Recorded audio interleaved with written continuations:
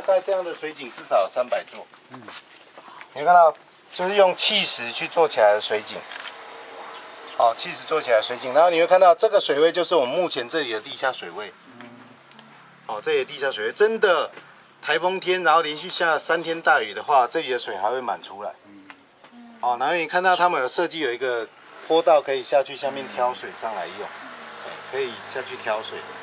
然后我也不知道是放养还是怎样，我发现每一个水池里头都会有无锅鱼。对，都会有鱼。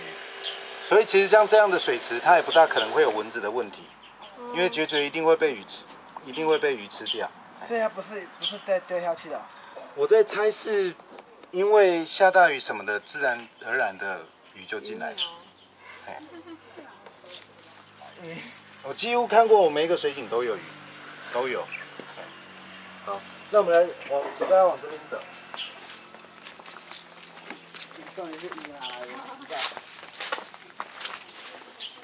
可能它很小的时候就跟着水流去。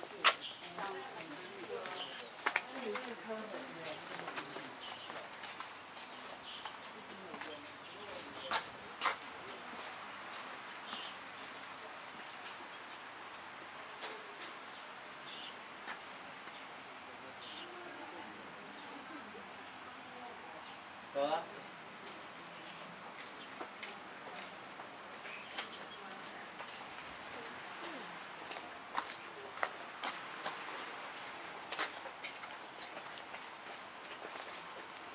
好。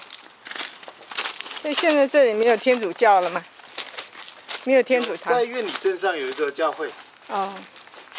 他们有的时候也还是会进来看一下。嗯。